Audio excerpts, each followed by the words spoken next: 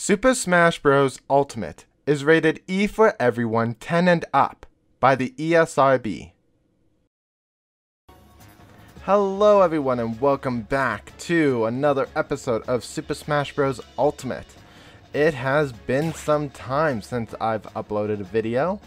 The last time being actually the Banjo-Kazooie episode of Classic Mode. School has been long, so I do apologize that I haven't been uploading a new series yet. Though I have learned a lot, uh, my video export quality should have improved since I started. Wow, these are some really great colors. Um, so my video quality should have improved since we, since I guess I started. Um, so hopefully that's gonna be something that will be more visual as we continue these series. And hopefully as I get new, get better at doing my schoolwork, I can be better at getting to new series for my channel. Anyways, last time on Classic Mode, we finished Banjo-Kazooie here. And in this episode, we're going to deal with Terry and his route, the King of Smash. As I just mentioned, I really love his colorations that he has. His standard, I've, just to be clear, I still have no idea who Terry is. So I don't know if these are in reference to other characters. They most likely are. They'll be down in the description below.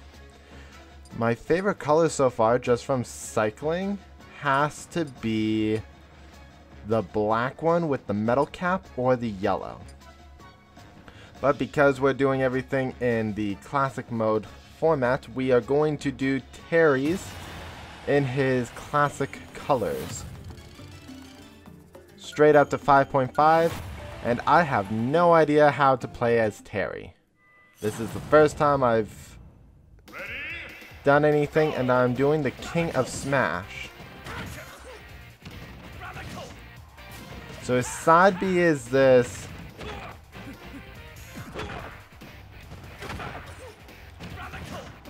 Is this.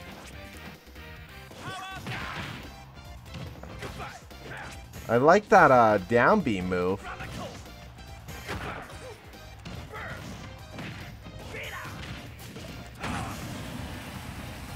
Okay, one defeated.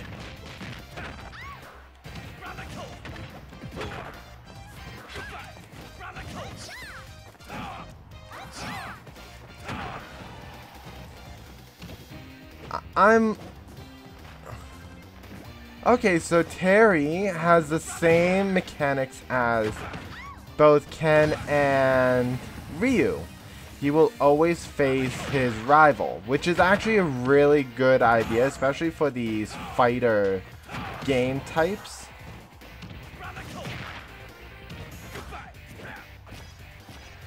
Uh, because in those games, you always faced your rival.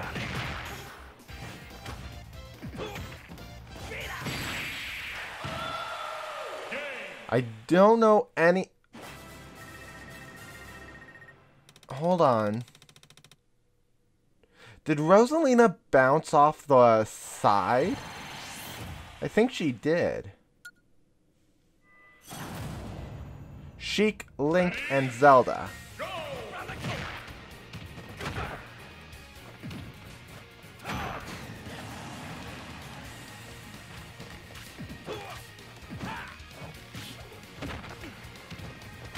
So I think Link it or Link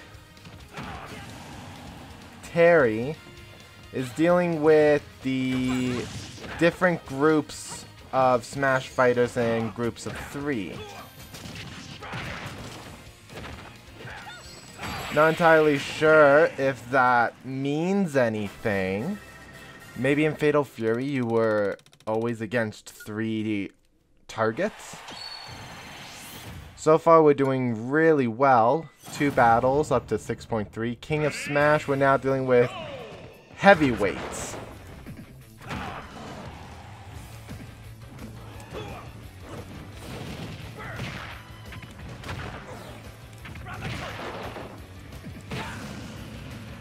I like that the bodies just vaporize with Terry's battle.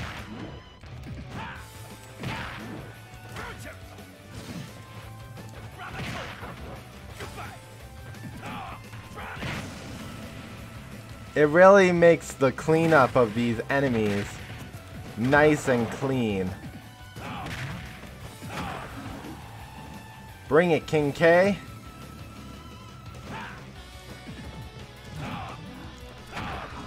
I've recently discovered that King K's down B counter does have a limitation to it, where it will crack and break and do substantial damage.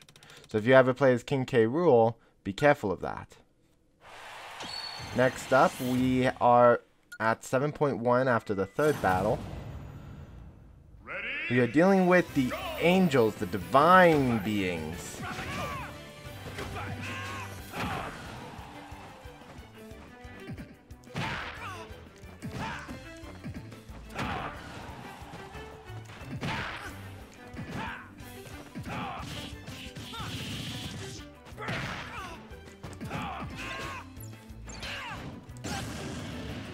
Get out of here, Pit.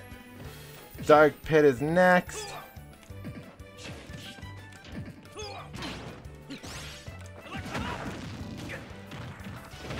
Good counter move, Dark Pit.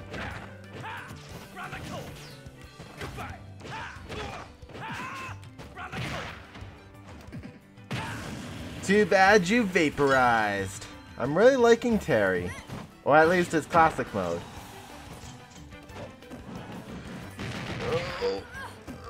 Oh gosh. I was scared. I was scared I'd lost.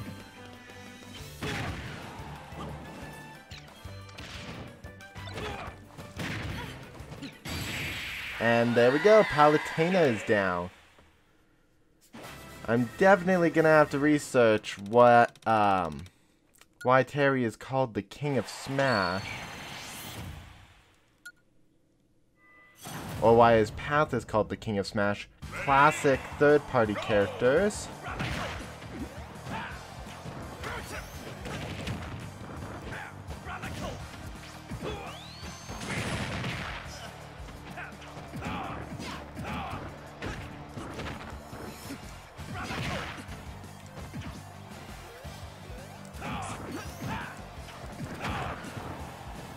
This is actually quite fun.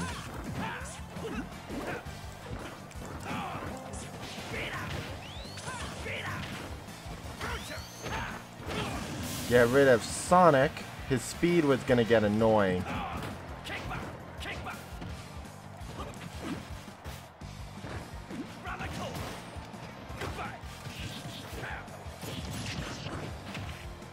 Come on.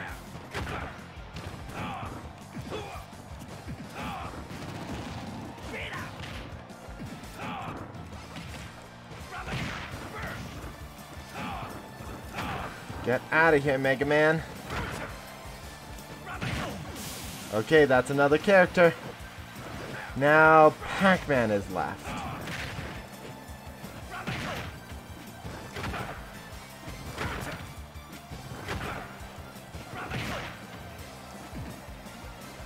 Bring it.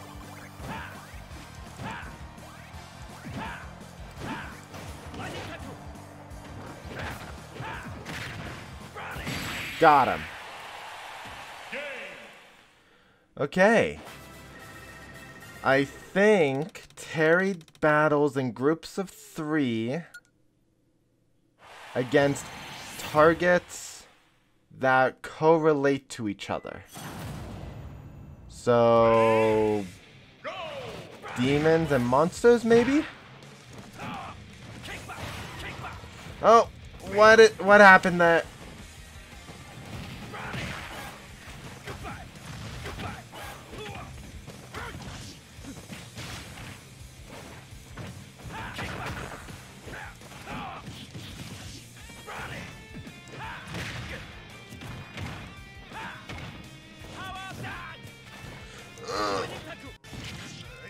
Save me! Darn. My moves were changing that. I guess it should be noted that I did not watch uh, Masashiro Sakurai's instructions on how to play as Terry.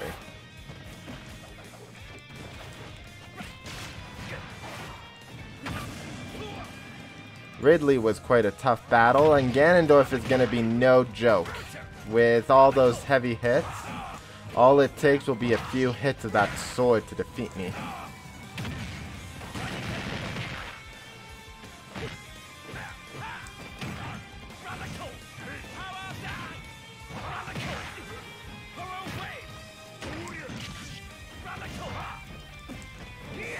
What is with this go thing?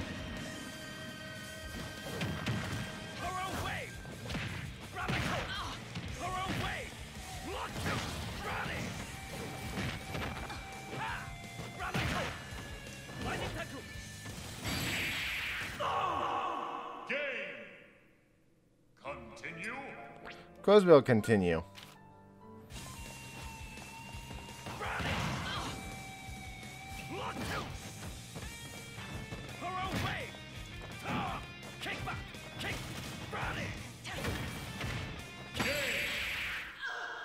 Hmm.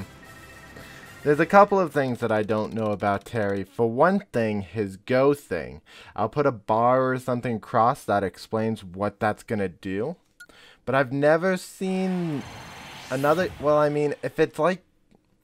It can't be like Little Mac, because I was doing the B move to try to release the go, and that did nothing.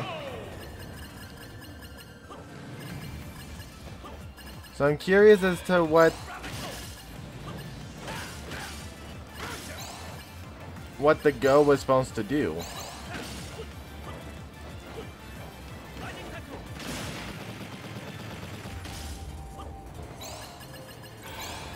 I guess it'll be something I'll find out later. Ow. Gosh, Terry, you're jumping!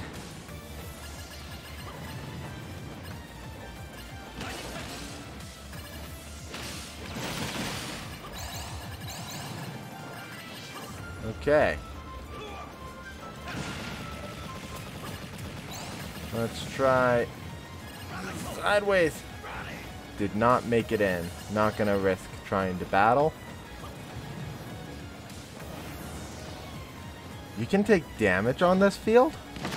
Probably have taken damage from other combat battles. Okay. We made it through, and now we're going to fight the boss. And the boss is... Terry, Ken, and Ryu.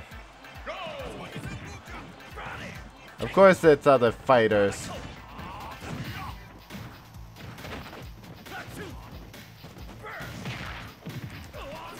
Yeah, I knew it.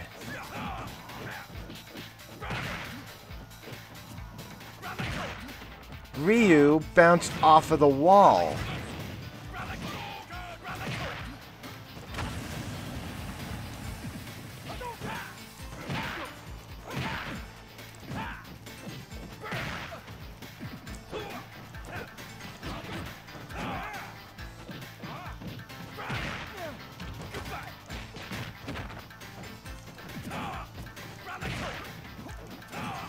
I don't think you can... You can't go off the sides on this map.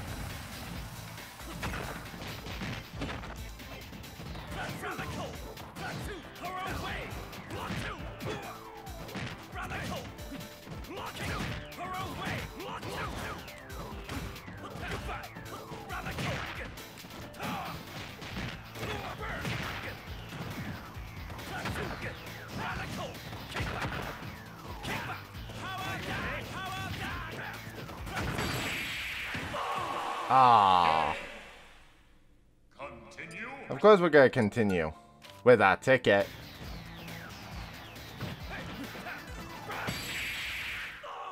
And we're done. Still did not figure out what the go thing did. But that's going to be found out at the end. So anyways, guys, we... Ooh, 9.7. Of course, I did use Smash tickets, so I don't think I actually deserve this 9.7. But that's what the tickets are for. Anyways, guys, that's going to be it for this episode of Super Smash Bros. Ultimate Classic Mode. In the next episode, we're going to continue with the last fighter of the Super Smash Bros. Ultimate Classic Mode Fighter 1 Pass, who at this time has not been announced. I'm super excited to know who it's going to be. My guess is that it's going to be Ryu Hayasaki, I think is his name, from Ninja Gaiden. Which would be really cool because we don't have a lot of ninja-like characters. We have Greninja and Sheik. So another ninja character would be really cool to have. Anyways, guys, that's my thoughts on it. Let me know what you guys think will be the fifth character of the first fighter pass. I'll see you guys in another couple of months for that episode, but in the meantime, we will be starting off our new episode series content. Octopath Traveler, that should be coming out sometime this week. It's going to start with the Primrose story, and I think you guys are going to like it. I'll see you guys in the first episode of Octopath Traveler. Have a wonderful day, and see ya.